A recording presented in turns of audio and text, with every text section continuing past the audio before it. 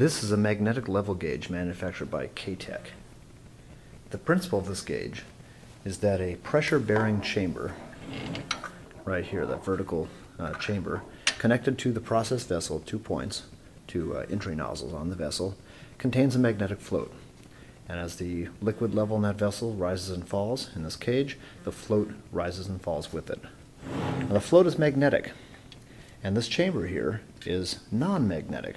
So that means you can have an object outside of the chamber, such as that fluorescent orange follower, that magnetically follows the float inside. So this way, instead of having to have a pressure-resistant glass tube or uh, quartz tube through which you can see the liquid level or the position of a float, now you can magnetically sense the position of that float inside of a non-magnetic cage which bears the process liquid pressure. So that means this glass tube we see right here with the orange fluorescent indicator is a non-pressurized element. It's nothing more than a piece of plastic. It doesn't have to be strong at all. Also, it means we can attach other devices to this, which can likewise sense the position of the float. For example, this accessory right here is a level switch. It closes an electrical contact every time the level exceeds a certain point. In this case, it happens to be a high level switch. Does not activate until the magnetic float rises to a fairly high level on the marker. Over here, we have another accessory bolted to the same magnetic level gauge.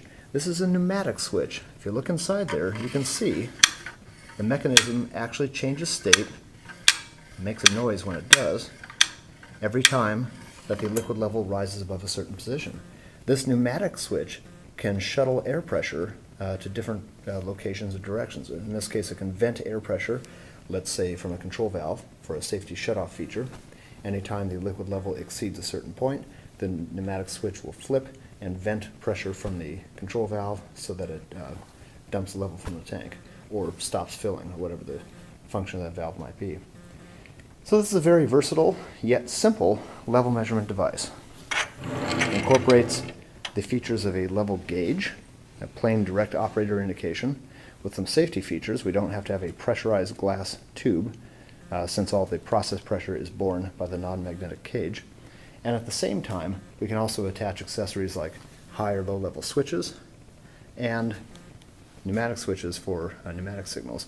In addition, you could also attach an accessory to this gauge uh, that uses magnetostriction to determine exactly where that float is and produce an analog output signal. That way this device can actually function as a level transmitter in addition to being level switch and level gauge.